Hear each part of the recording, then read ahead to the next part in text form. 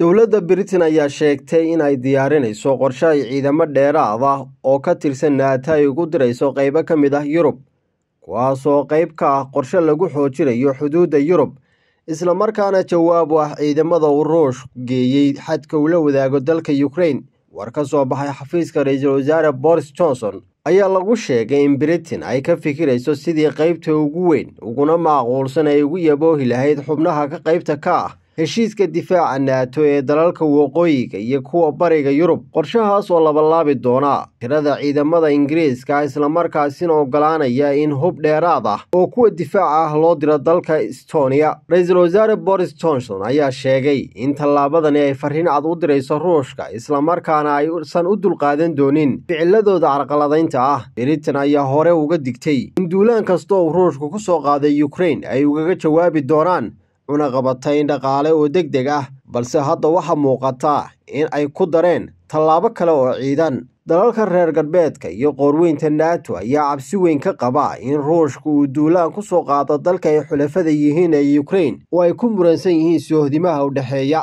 Walow labada dalba si weyn looga dareemayo dhaqdhaqaaq ciidan. Haddana ruushka ayaa kumanaan ka mid ah ciidamadiisa difaaca soo dhoobay xuduudda ula wadaaga dalkaasi. Waa khadir qowdhame warka laanta afka soomaaliga ee c b a t v.